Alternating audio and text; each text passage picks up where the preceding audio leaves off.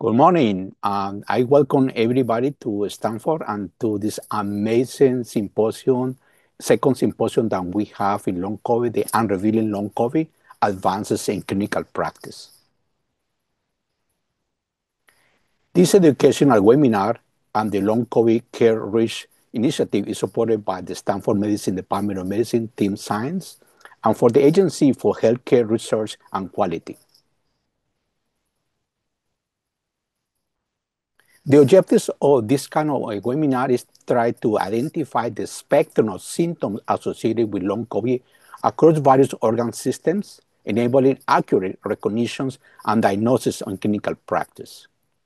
Evaluate and apply evidence-based therapeutic approaches for long COVID management, and integrate multidisciplinary perspectives to provide comprehensive patient care.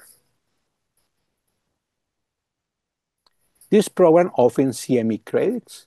To claim your credits, you uh, you need to um, you will receive an email within three business days for the completion of this activity to complete your evaluation and claim your credits.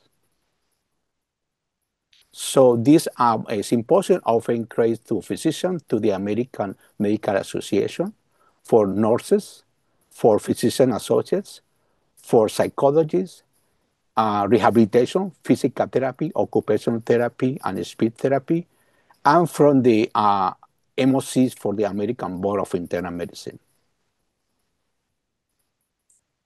This, this uh, program today have uh, two sections. The first section and followed by a Q&A, and it's going to be a break of 20 minutes.